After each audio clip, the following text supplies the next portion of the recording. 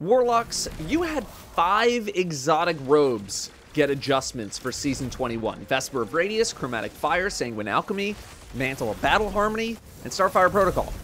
Today, I just want to do a little check-in on these robes, see what's going on with them now.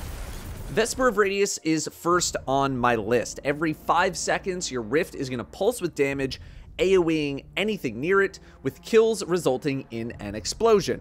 If you're using an Arc subclass, these explosions add blinding to its effects, and you also regenerate Rift energy faster when surrounded, which has always been a thing with these robes. So it is essentially a more souped up version of its previous form.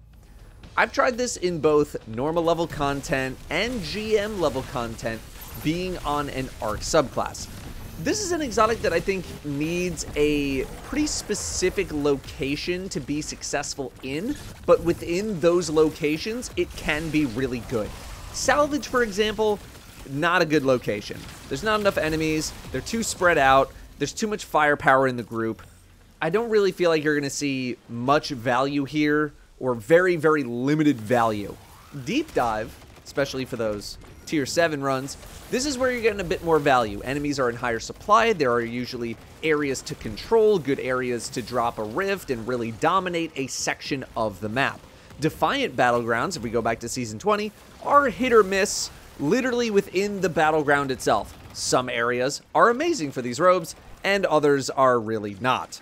I ran Fallen Saber on Grandmaster with this on, and I think it actually performed very well to the point where if I saw someone running it in this strike, I would just say, okay, cool. It is successful because the strike is designed in a way that you will maintain close proximity with enemies a very large portion of the time. There are lots of tight corridors, lots of swarming enemies, and you're going to have a lot of opportunities to use your Rift and use it often because you're going to be surrounded by enemies very often. You can also use this defensively in case you get rushed, but using the exotic in a more proactive sense is going to give you much more value, and there are better choices to make if you want a more defensive or reaction-focused exotic or even build altogether. But if you plan on using this in a proactive manner, then having high game knowledge is not a requirement, but is strongly encouraged. Knowing spawns, their locations, their timings, are really going to help you maximize the value of this exotic in the situations where it can be good. Not every strike is going to be great for Vesper, though. If we look at the Season 21 offerings for Grandmaster strikes, we have Devil's Lair, Corrupted, Disgraced, Lightblade Saber, and PsiOps Battleground Moon. Devil's Lair is a pretty good one. Corrupted is, I would say, not. Uh, maybe outside of the elevator section, it's not. Disgraced is a little bit risky. I'd want some practice runs, and even then, I'm a little iffy on it. Lightblade is probably a no for me. Saber is fantastic, and PsiOps Moon has a chance. So you can have some good success with this exotic in the high end, but you need to be selective. It's not something I would wear for everything. I'm also not super interested in them for Lost Sector purposes, as the main combatants I worry about are champions, and I don't want to be rifting next to a champion, although this technically can stun unstoppable champions because of the blind. I think these robes would feel a little bit better to me if they did the same amount of damage total, but changed how often the rift pulsed. Every 3 seconds instead of every 5 seconds, less damage per pulse, just to kind of keep up the intensity of the arc experience. I guess this would have blinding implications too. It would be easier to blind things. I don't know how much Bungie would really want people to have nearly perma blinding on something like this kind of effect. Uh, it could even be a PvP reason too. I'm not sure. Next up, we have Chromatic Fire. This didn't really get changed so much as it got buffed. Larger explosions, and the explosion adds some kind of subclass effect. Blind for Arc, Scorch for Solar, Weaken for Void, Slow for Stasis, and Sever for Strand.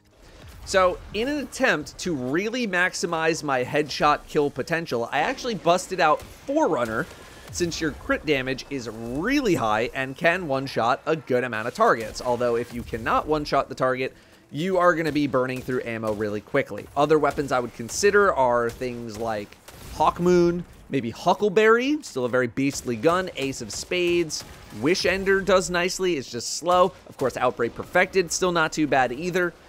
Ultimately, though, this exotic's performance still relies on having enemies being clustered up in a ball often enough to be able to tag things with an explosion.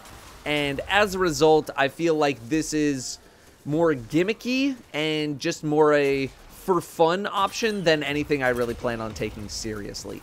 Much like Vesper, this is an exotic you wear when you know you're going to be able to get lots of explosion AoE effects onto these other enemies, maybe deep dive, Avalon exotic mission, stuff like that.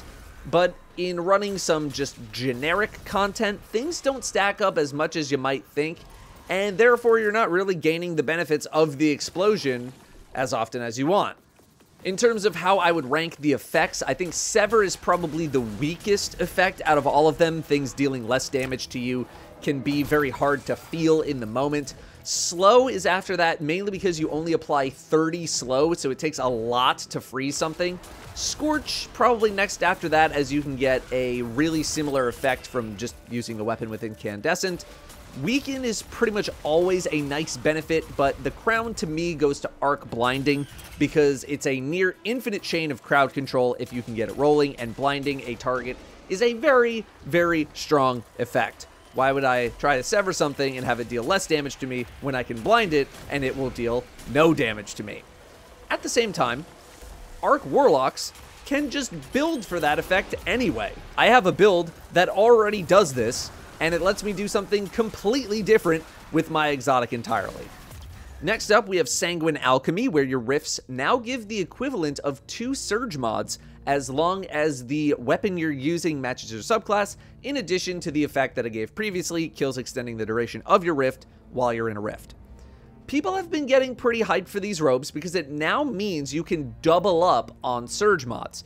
Sanguine gives you two Surge mods worth of bonus damage, which is 17% in PvE, assuming you meet the requirements. Which means you can then also do another two or three Surge mods for a different element or for your kinetic weapon, essentially giving you near permanent uptime on weapon damage boosts for your entire kit. This has a lot of implications for endgame content, as it allows you to boost not only your main damage dealer, like a rocket or something, but also a weapon like Izanagi's Burden, it gaining the effects of kinetic surge mods. If you plan on using these robes purely just for the fact that you don't need to use surge mods in your boots and you want to use other mods like scav or holster mods or whatever, then I think you're just kind of wasting your time here. If you're going to use Sanguine, then I think it should be because you want to double up for some sort of boss damage play. This is probably not something I'd really bother with for non-boss focused things though. Like I personally wouldn't bother with this in deep dive or seasonal content or any sort of low or mid-tier thing. That's not because it's bad, but rather just because it's not very exciting to me and I'd much rather run with a more fun build than run with Sanguine and get a kinetic weapon boost. You know what I mean? Mantle of Battle Harmony has always been kind of good. This mainly got more of an adjustment versus a big shift in how it works. Still works pretty much the same way. It's just that the damage buff you get is now 25% when you have your super, but it does not stack with surge mods. So it's another exotic designed to get you off of surge mods or onto some sort of double surge action like Sanguine does. The problem here is that this doesn't work the exact same as Sanguine because you need kills to refresh your mantle buff, but the buff only lasts for 11 seconds, whereas Sanguine can make it last really, really long. It's not designed for your average boss damage strategy. It's kind of designed for slaying out. You can get a ton of super energy with this thing, and you can get it really quickly too, especially if you're cranking out Orbs of Power. But I find these robes to be at odds with itself. If you don't have your super, then you're not getting the damage bonus. And if you have the damage bonus, you need to hang on to your super. You're not really getting the best of both worlds unless you utilize something like Ager's Scepter, where you can use your super energy on and off to activate the Mega Beam that Ager's Scepter has, and then quickly get back to max super energy. In that specific case, yeah, it's fantastic. In most other cases, I can understand why people haven't utilized this that much in PvE. It's really easy to get super energy anyway, and people don't really mind using surge mods. But, again, don't sleep on the super energy gains, because they're big. Finally, Starfire Protocol's nerf. The era of just spamming an SMG and doing a billion extra damage, that's over. That is the main thing that they wanted to kill with these robes, and they definitely did that. Are they still usable without that effect? Yes, they are. But you need to actively be killing things to really gain the benefit now instead of just spraying a little bit of damage here and there. There's a good reason that a lot of Solar Warlocks are rotating over to a Sunbracers focused build now, and that's partly because of the uptime that that build can sustain. Part of the appeal of Starfire was, yes, the damage, but the uptime also felt very rewarding. Sunbracers can have incredibly high uptime as well, but it's the fact that you can chain it forever if you're smart about it, although given the range of snap melee, that's a bit more of a difficult task in GMs. I also ran with this build multiple times in Grandmaster Nightfalls with both rocket and machine gun equipped. And if you plan on using this in a GM experience, I'm definitely going to recommend a machine gun if you actually want to use the exotic effect on a regular basis. Trying to yoink kills with a primary was pretty much up to the damage gods in terms of who got the kill, but with the machine gun, it was much easier to mow things down and to get more grenades thrown. You can plan your rifts and grenades very easily when you know you're going to be getting some consistent kills. The same goes for lower end content as well, but it's just easier to get kills in lower end content. This is also not something I'm imagining a lot of people are going to bother with in lower end content though, since Sunbracers allow for much greater freedom of movement and have just as much, if not more firepower available. And that's it. That's how I'm feeling about these robes. All in all, some pretty good changes and buffs for the bulk of them. Starfire, you know, really got brought in line. Let me know how you're feeling about these robes. If you're, you know, coming up with any sort of unique builds or anything like that you want to share with the crowd, feel free. Thanks very much for watching. I'll see you next time.